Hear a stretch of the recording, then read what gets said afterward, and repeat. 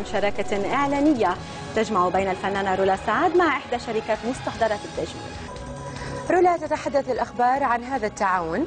كما تكشف جديد قرار منعها من الغناء في مصر وتفاصيل دخولها للدراما التلفزيونية في رمضان المقبل من خلال مسلسل كوميدي صايعين ضايعين.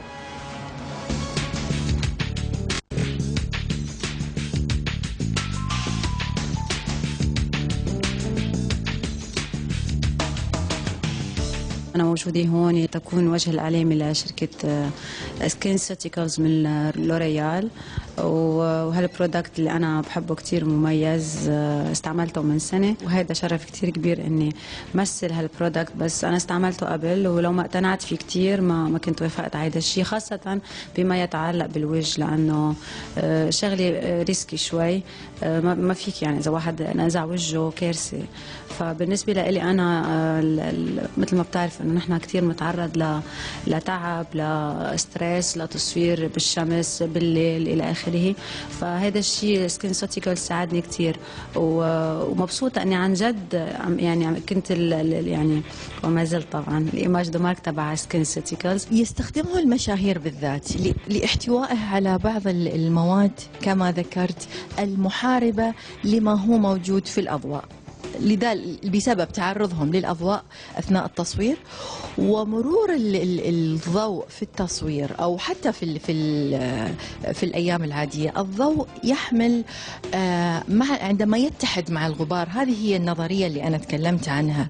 تتحد الجزيئات السامة لتغزو البشرة فبما أنه الفنانين يتعرضون لأضواء ولتسجيل وأحيانا آه، تمر عليهم 24 ساعة إلى 28 ساعة ما ينامون آه، في إرهاق شديد قرروا الفنانين أو اتجهوا وأصبحوا وكونوا جمعية على فكرة لهذا المستحضر. ما أعرف إذا عندك خبر في الموضوع كونوا جمعية جمعية أصدقاء الفنانين لاستخدام مستحضر سكينوسيتيكال نتيجة ظروف عملهم المرهقة.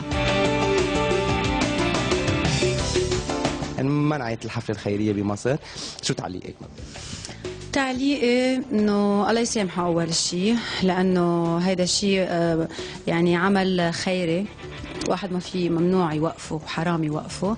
آه وخاصة إذا ما كان عنده سبب مقنع إنه يوقفه.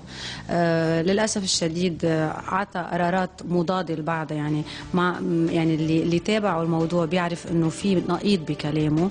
آه أنا بحترمه وبعذره. عنده أسبابه الخاصة أو ضغوطات خاصة هذا شيء شيء بيرجع له. آه بالنسبة لي أنا قانونيا رح تابع الموضوع وأنا أؤمن بالقضاء المصري خاصة إنه نقيب الفنانين بعتقد حسب اعتقادي الشخصي وسألت إنه له حق يوقفني إذا أنا ما دفعت ضريبتي. لكن ما له حق يوقفني إذا كنت عندي نزاع أو اغنيه أنا وإحدى الفنانات. فهذا الشيء القضاء هو اللي بيقرره. مش مش النقيب ابدا. وهو شاف من من وجه من منطلق وح يعني من من جهة واحدة ما شاف من من الجهتين. رح تصوري مسلسل جديد صايعين ضايعين.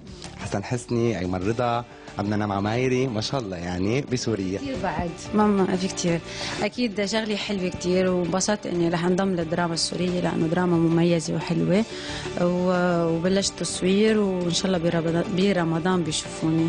طيب خلينا نحكي أكثر شوي تفاصيل. شو الدور اللي أخذتيه؟ خلينا لك كثير بس رح أقول لك إنه أنا دور فنانه فقيره آه، يعجب بها الكثيرين هيك بيقولوا العربي الفصحى. الكتار. صلحوا لي تشوف. كثيرون ها شفت؟ وهيك بصير في مشاكل وأشياء كوميك وأشياء مواقف طريفة.